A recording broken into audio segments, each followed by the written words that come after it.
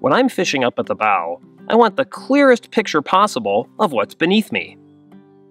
And that's exactly what I get from Minn Kota's new bow mount trolling motors with fully integrated mega down imaging transducers.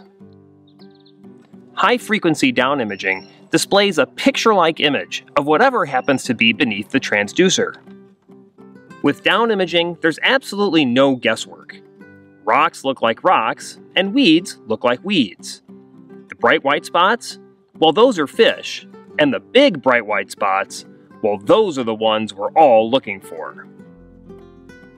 And when it comes to the mega imaging frequency, well, that gives me the clearest, highest resolution, easiest to interpret image available.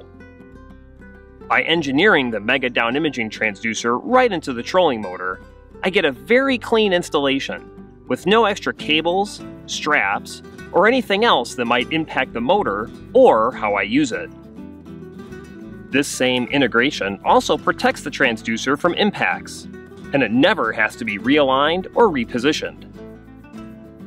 Connection to my one boat network is seamless, with the trolling motor and the fish finders working together in perfect harmony.